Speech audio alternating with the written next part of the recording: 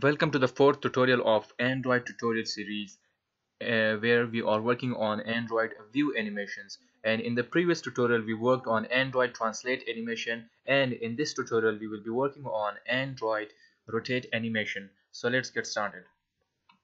First of all remove this translate animation from here. And let's work on rotate animation. So from degree it means from which degree you want to start the animation? I say that I want to start it from 0 degree 2 degrees. I say that 360 degrees. And now Android.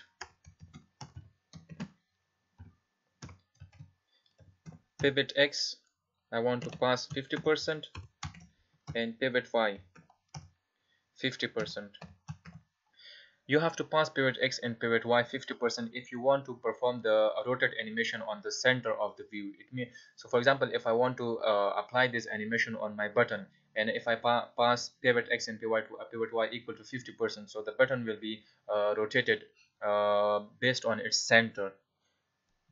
So Android duration is equal to um, one second and Android. So Android repeat count is equal to infinite. Android repeat mode is equal to uh, restart. So here we have already assigned this alpha uh, we were supposed to create a separate file for each of these animations but unfortunately we did it in one file or maybe fortunately because we saved ourselves time.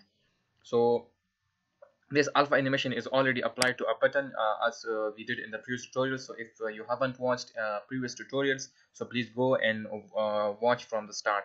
So here we have a button and animation. We have initialized this button and this animation here and then we applied this animation to button 1 so let's run this animation this app.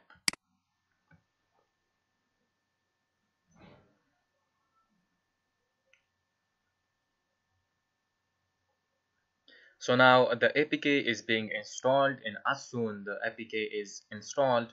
Our app will be launched. Sometimes it takes uh, more time than usual.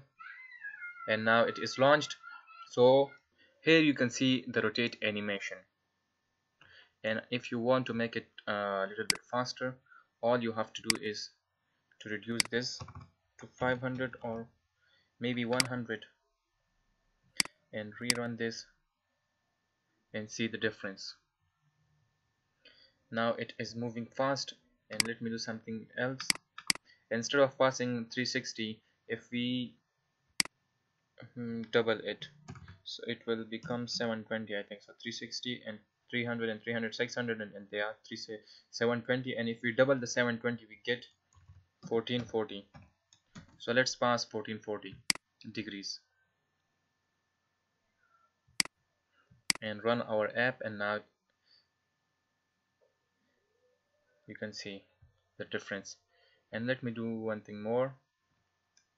Let me pass 2880 and run this now.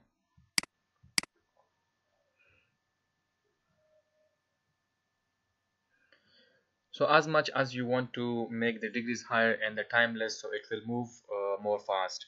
So that's it for this tutorial. See you in the next tutorial and we will do more animation so stay tuned